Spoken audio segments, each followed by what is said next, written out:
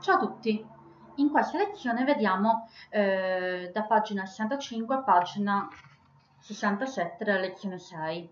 Eh, 65 eravamo arrivati all'esercizio 5, intanto eh, correggendo i compiti con i vostri compagni abbiamo visto che scala mh, è di treppe, scala fissa, invece di lighter scala pioli, invece la scala, pio, eh, la scala mobile, dato che è una scala fissa che però eh, si muove, quindi interna che si muove, è una roll treppe.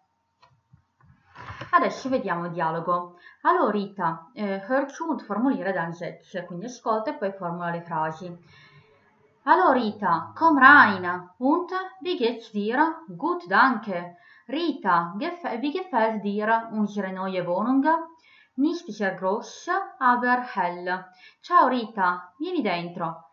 E, e come va? Bene, grazie. Rita, ti piace il nostro nuovo appartamento? Non molto grande, ma luminoso.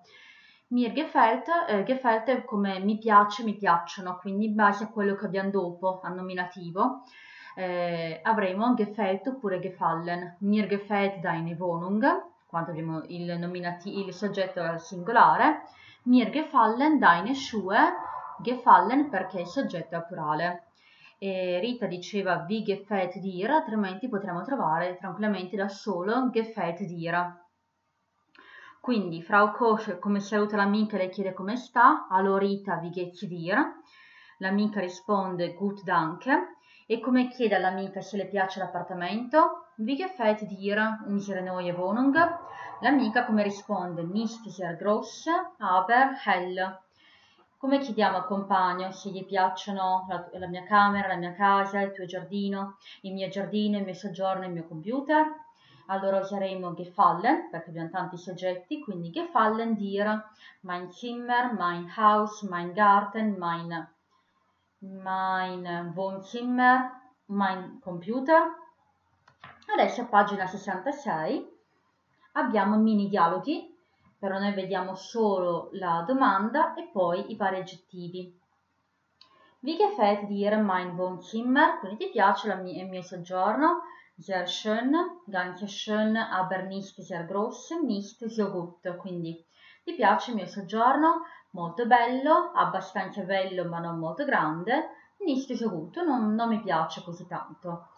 Eh, adesso vediamo gli aggettivi positivi e quelli negativi. Fantastisch, oppure potremmo anche vedere wunderbar, meraviglioso, sehr schön, molto bello, so gemütlich, così confortevole, schön groß, bello grosso, schön groß und hell, bel grosso e luminoso, so praktisch, così pratico. Negativi, così abbiamo nicht so gut, cioè non mi piace così bene, nicht sehr hell, quindi non mi piace tanto, eh, potremmo anche avere, brutto, eh, nicht sehr hell, non molto luminoso, potremmo avere il suo contrario, quindi dunkel, che è buio, nicht sehr gross, non molto grande, ma anche il suo contrario che è klein, e poi ganz schön aber klein, abbastanza bello ma piccolo, ganz groß aber nicht äh, sehr gemütlich,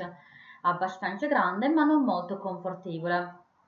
Dopodiché nell'inizio del B abbiamo la domanda wohin kommt das Sofa?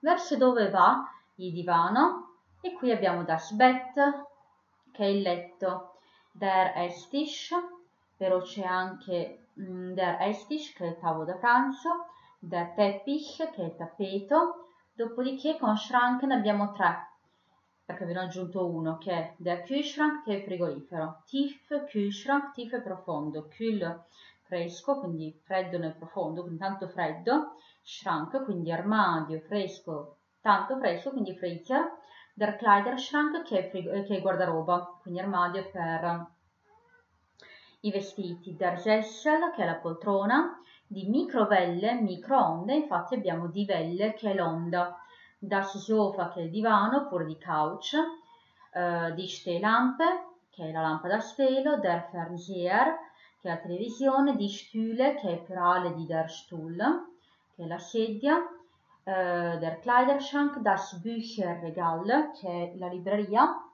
eh, das, der Geschirrspüler, oppure potremmo dire la lavastoviglie, oppure cambiamo genere perché aggiungiamo un pezzo e diventerà di Geschirrspüler Maschine, che è la lavastoviglie.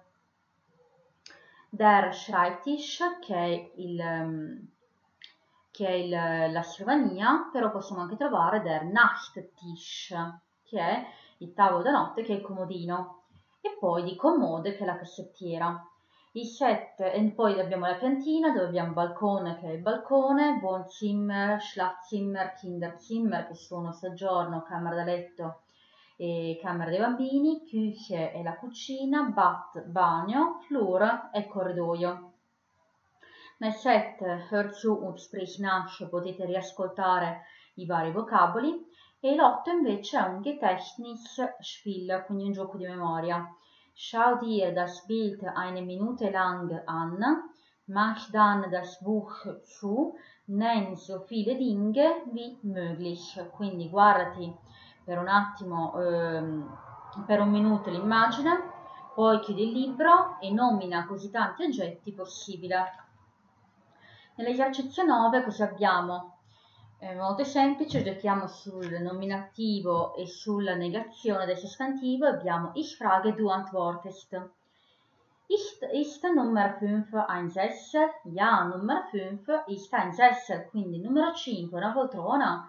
Sì, numero 5 è una poltrona, però se andiamo, se andiamo al negativo, quindi guardiamo il 4.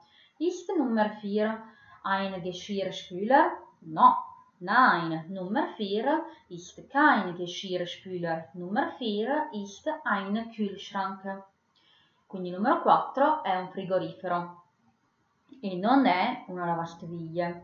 In 10 noi avevamo già visto i pronomi personali a nominativo, quindi der, das Sofa diventa es, uh, der, der Tisch diventa er, eh, di lampe diventa si. Però adesso possiamo vederli, fare un passettino avanti e vederli all'accusativo. All'accusativo eh, das, di, eh, das e di non cambiano, quindi rimangono si, es e, e si del plurale. Quello che cambia è, è l'accusativo del maschile, quindi den che diventa in.